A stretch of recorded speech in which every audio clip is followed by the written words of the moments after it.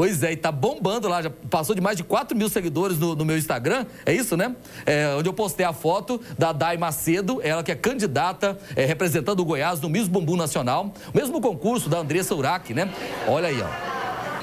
Eu fiz uma reportagem com ela hoje, olha como a mulher é bonita, né? Amanhã você vai ver a história completa, ela é 106 centímetros de bumbum, 65 de cintura, um corpão aí, ela é, ela é representante de Goiás. Ah, você quer votar? Quer votar na, na, na Daig Macedo? Tem um site, né? www.missbumbumbrasil.com.br Ela está hoje em terceiro lugar. Entre as, entre as representantes, 27 representantes de vários estados aí, ela está em terceiro lugar. Vamos mudar a situação? Então entra lá no site lá, www.missbumbumbrasil.com.br missbumbumbrasil.com.br, né? Vote aí na Dai Macedo, né? E vamos colocar é, a, essa candidata representante de Goiás aí no topo realmente do ranking das mulheres mais bonitas aí é, do Brasil nesse concurso, né? Tá terminando aí, termina agora dia 25, me parece, né? É de novembro. Tá aí, né? Então tá vendo? Amanhã mas e aí vem aquela pergunta, Lois, como é que eu posso ficar com um corpão desse? Como é que eu posso ter uma pernona, uma cintura? Olha aí, eu vou mostrar histórias de mulheres que se dedicam a cuidar do corpo, a cuidar da saúde, para ter realmente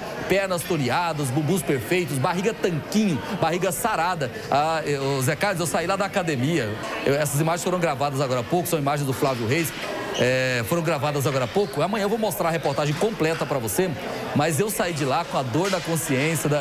eu saí de lá com vergonha, né? Gente, ó, apesar de eu estar com só um quilozinho de barriga, né? É, eu vou te contar, vou ter que voltar a minha malhação aí pesada, porque como é bom você ver, gente, olha aí, essa mulher, tá vendo essa mulher aí, Zé Carlos? Ela tem 41 anos de idade, tem um filho adolescente de 15 anos e um corpão sarado desse aí, ó. Ela é gerente de uma loja no shopping de Goiânia. Aí, então aí, tá o site aí, ó www.missbumbumbrasil.com.br para você entrar e votar, né? Vota aí na Dai Macedo, a representante de Goiás nesse concurso. Agora você também pode entrar lá no meu Instagram, você vai ver a foto que eu tirei agora há pouco com ela. Meu Instagram, Instagram é Oloares Ferreira, beleza?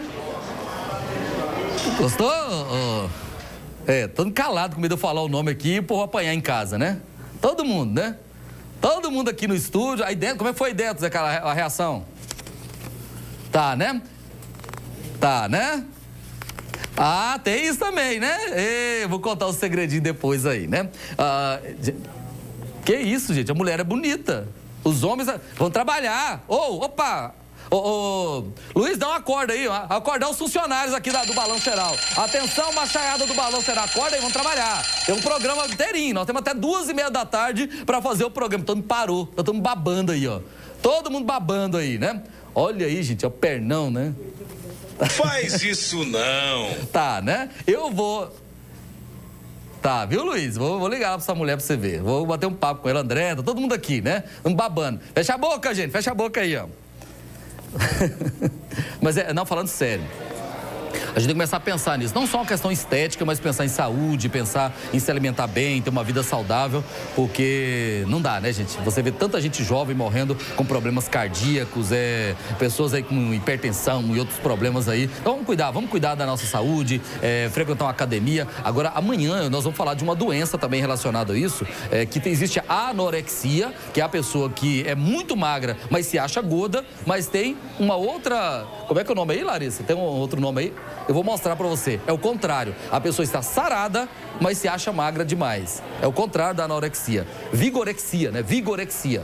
Vigorexia. A pessoa que está com corpo legal, mas se acha magra demais. É o contrário da anorexia, que é a pessoa que está magra, mas se acha gorda. Então amanhã nós vamos falar desse assunto também.